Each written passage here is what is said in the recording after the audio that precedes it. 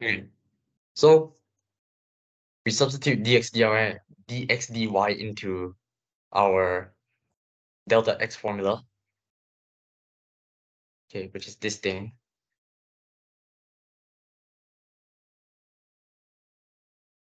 So we substitute it into here. Then don't forget to multiply this by delta y, this delta y from here. Okay.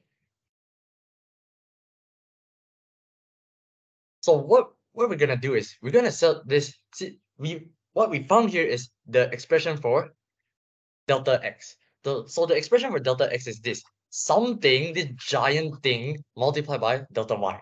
So we're gonna substitute this whole thing into the PVD formula. Okay, the PVD formula. So let, let us do that. So um, let, let me just sorry. So the PVD formula, remember, is this. And then we found that this was like this. So we've already found an expression for delta x, which is this one here, the yellow highlighted one. So let us substitute this whole thing into here. So if we do that, we shall get, okay, so I substituted, I shall get this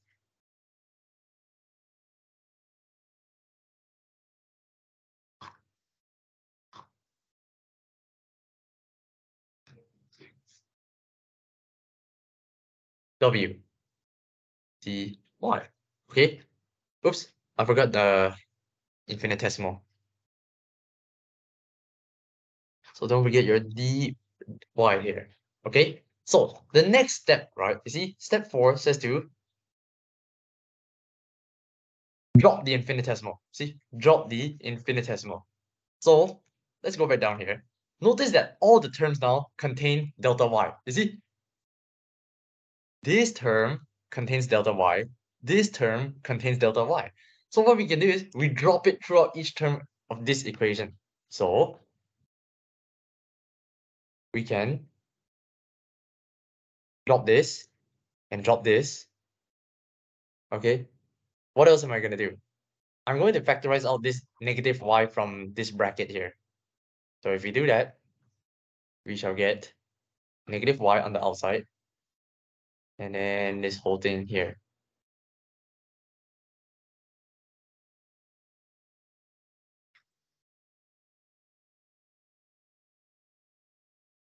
Okay, and then I'm gonna move W to this side, getting negative W. Then I'm gonna cancel the negatives.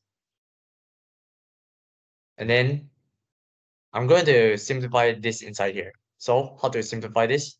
Just cross multiply obtaining this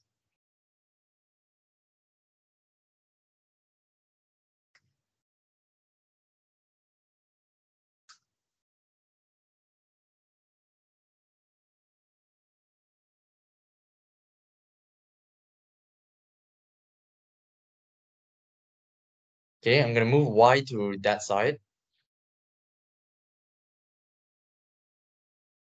And then I just bring this giant fraction over. So if I bring it over, I shall invert it. So I get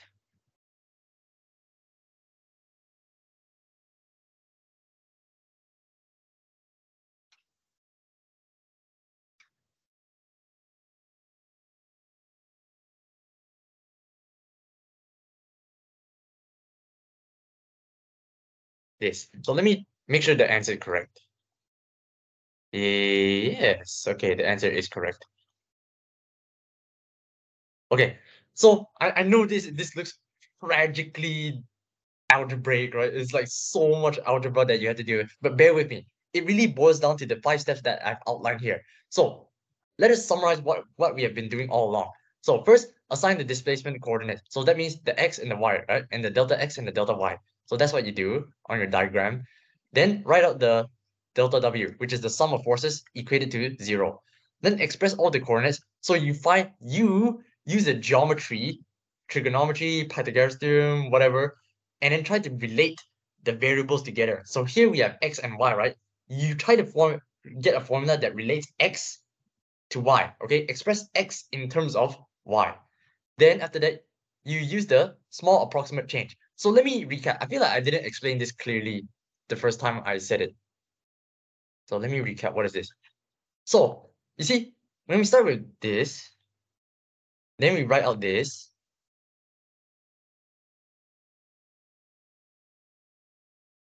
What are we trying to do in step three using this? We are trying to get rid of the infinitesimal because in think about it, in reality, there is no infinitesimal. It doesn't actually exist. So what we're trying to do is we are trying to remove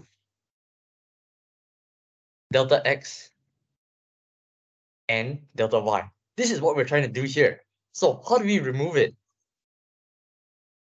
Using this, right, you will get, okay, using this, remember earlier we got something, it doesn't matter what that thing is, multiplied by delta y plus this delta y. See, now both of them have delta y. We can remove it by just dropping it. So this is gone, this is gone. Then after that, you can make f the subject, which is step five. Okay, so you make f the subject, f is something, something, something, w. So this is what we're doing from a bird's eye view. Just take these five steps. I know when you actually execute it out, it's really difficult. There's a lot of algebra, geometry, a lot of thinking, but bear with me. As we do more questions, it really boils down to these five steps and you'll know that it's actually pretty easy. So to prove my point, let us move on to question two. So here, our job is to find f to keep this structure in place. So let us go ahead and do that. So first, first step is we assign the coordinates and they've assigned it for us, which is this h and this x here. So h and x, these are the coordinates, and then their infinitesimals, delta h, delta x. So first, we have delta w, right? Equals to zero. Then, after that, okay, we know h and f are opposing each other, so negative, like that. And then mg and x are together with each other in the same direction, so positive, like that. Now, we have to relate all of these coordinates to a common variable. Here, what is the common variable they assign to us? The common variable is actually theta. Okay, let us see how we can exploit theta to drop the infinitesimal. So, our, our mission here is to make h related to theta and make x related to theta. Okay, now we have to do this using the geometry of the structure. So first, let us take a look let us focus on this triangle here. Okay, so what I'm going to do is I draw a horizontal line through here. And then I'm focusing on this tiny triangle here. So when you focus when you focus on this tiny triangle, you notice that this is theta. And then since this is half of h, so this is h over 2, right? I split this h into half. And then this is a. So which trigonometry formula can we relate h to theta? We can use cosine because this is adjacent, hypotenuse. So we can say that cosine theta is equal to adjacent over hypotenuse, which is a. Okay, so if we simplify this, we shall get um, you multiply this over is equal to h over 2. And then you make h the subject. So you get h is equal to 2a cosine theta. Okay, so let's keep this formula in mind. Later we'll use it. And now let's express x in terms of theta. So you relate x to theta. How can we do that? So let us take a look at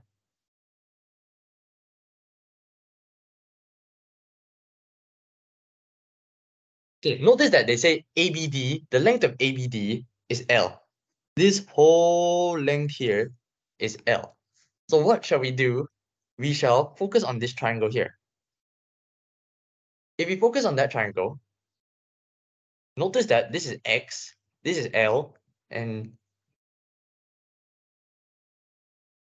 okay.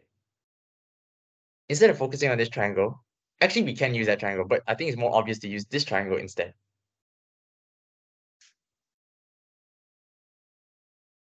This is x. Sorry, this is x, this is L, and then this is theta, right? Let me show you. This x is this here. This L is what they told us. And this theta is the angle.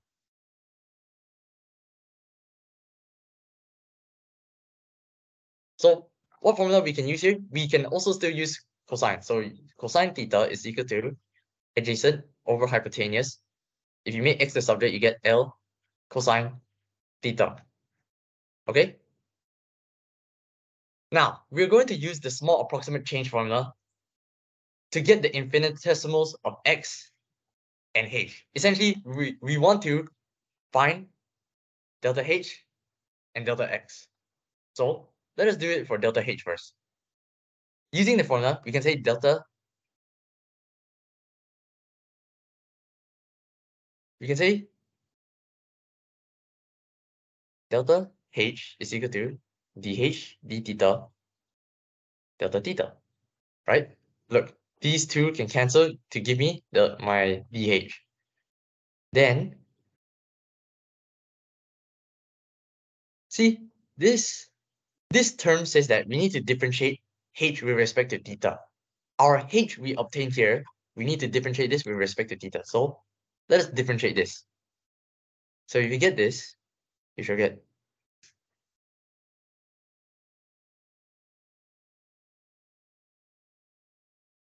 Okay. So if you differentiate this, these two are constants, so just leave them be. We get we shall get.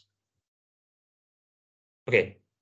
The differentiation of cosine is negative sine. So negative 2a sine theta. Now we put this into here. We shall get this. Okay, we're going to substitute this into the PVD later. Now, going back to here, we need to do the same for delta x. So this given by this. See, notice that this 2 and this 2 can cancel to give me my delta x. So we need to differentiate x with respect to theta. Where do we get this? From here of well, what we obtained earlier. So this is d d theta L cosine theta multiplied by the infinitesimal. So again, differentiation of cosine is just negative sine.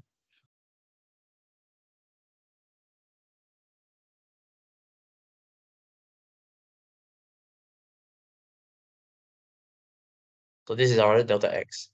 So now, we found delta x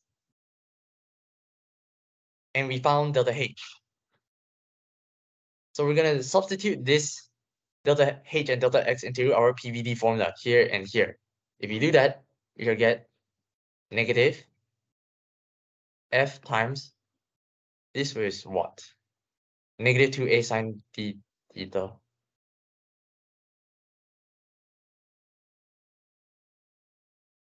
minus negative 2a sine del delta theta plus mg times negative L sine theta delta theta. Okay, so now let's scan through this equation to see if we can simplify anything. So again, drop the infinitesimal. Then both of them have sine theta, so we can drop them too. What else? This negative can cancel. So this leaves behind 2AF. Then this leaves behind. This gives me minus MGL equals to 0. If I make F the subject, I shall get yeah, this is the formula.